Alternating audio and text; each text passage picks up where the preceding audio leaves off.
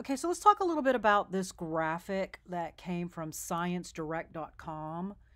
Um, you can visit their website to learn more um, about this. Um, so, what you're seeing is obviously the bubble diagram on the left, and that you see how those bubble diagrams are just sort of laid out randomly. And that's the thing I don't do because, um, well, they were fine to translate that into the floor plan on that it comes next. Um, I find it's harder to make that happen, make that leap in the beginning, if you're not already working on some sort of grid and using some sense of scale. So while what they're doing works, um, I just find that if you spend a little bit more time in the beginning, making the bubbles little more to scale and working on a grid, it makes it easier to go from A to B. And so I, I just want to co- cover quickly that um, this is the goal, right? So we go from A to B to C to D to E to F. We're, we're, we're taking these bubbles and we're using them in the beginning to take a very rough look at um, space layout. How are these rooms connected to each other? Um, how are we laying out this floor plan? And by doing bubbles in the beginning, it keeps us very loose. And it also gives us the opportunity to try a whole lot of different arrangements before we start spending a lot of time committing to, to drawing this and building this. And so you can see from A to B, it went from the bubbles, the layout of the bubbles, to they became squares, rectangles, uh, shapes, right? So they became rooms. So we went from bubbles to rooms. And you see, they used color just like I use color. And they used, they translated the color over from A to B. When you're working with a client, bubble diagrams will make zero sense to them. And I have learned not to show bubble diagrams to clients. That what you're going to do, the bubble diagramming is for you. For you to play around and come up with 20, 30 different options until you've figured out what's the best three. And then you want to take those best three and turn them into more something that looks a little bit more like B. Um, now, one of the problems with B, if you show that to a client um, without any furniture in it, is they will not understand scale. So it might behoove you to throw some furniture in there for sense of scale. Um, because at this point, when you go from A to B, you're going to really start digging into graphic standards and finding out how big should that kitchen be. You should have that information. Where are the counters going to be? That should be part of your schematic development. Where am I putting the counters? Where am I putting the appliances? Where how big does a does a uh, kitchen table need to be if I'm going to put one in here? How big is an island if I'm going to do an island? If I'm going to have some benches? You want to work through all that. Um, you want to establish all that when you're laying out that room size. Here they haven't done that.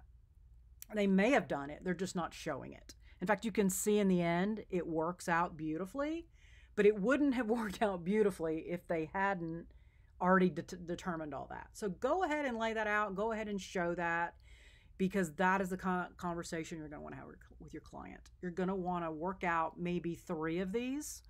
Um, and here's why. If you go to a client and say, here's your floor plan, here's your design, think about if you if I was doing work for you and I came to you and I said, okay, here's your plan, what what is going to be your reaction?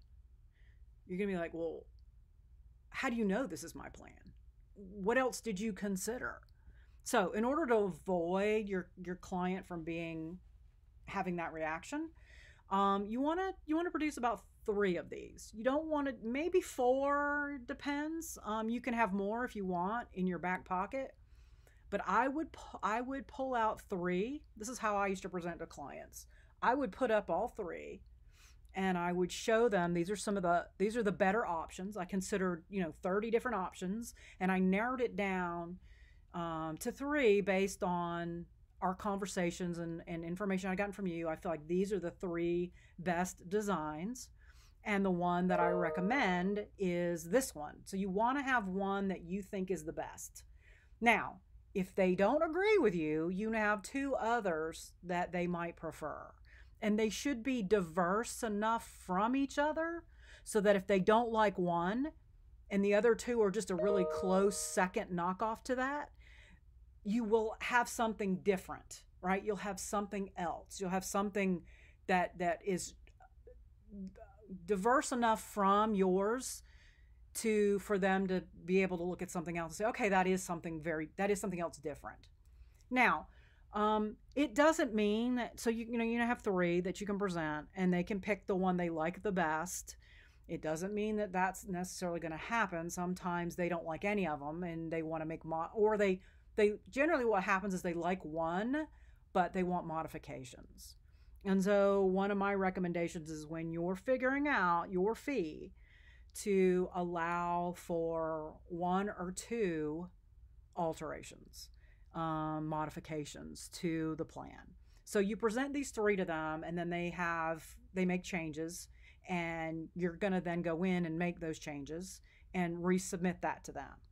After they have seen the mod the pl- new plan with the modifications, you're going to want them to sign off on it before you do any more work. And here's why.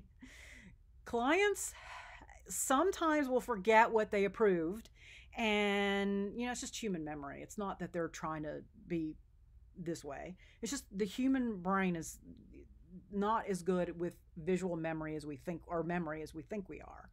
And so we remember things differently. So by having them sign off on it and approving it you can do multiple things. You can then bill them for work that has been done to date so you can start getting paid from the project. Because sometimes you get that far and the project doesn't go any further. Either the funding fell through, or they didn't get the land they wanted, so you got to start over, or who knows, they decide to get a divorce. Um, things happen, um, and I I would say that out of every for every ten projects I ever started, four to five ever got built, and I was working with construct i was working mostly with commercial clients who who already had their funding before they approached us um, so this is going to happen that you're going to do work for people and it's not going to get past the schematic phase which is why you want to once you get to this point and they have chosen the schematic design that they like you then want to be able to uh, have them sign off on it. Now um, one other thing you really want something that looks like B with color, but it should be more like E in terms of having doors and windows, as well as, well, F.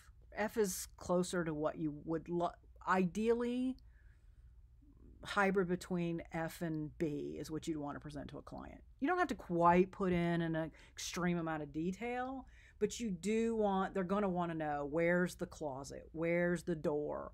How do I um, where's my water heater? You know how do i get from this room to that room? You're you're going to want that in your schematic right? So the f is a is a it should be a colored f.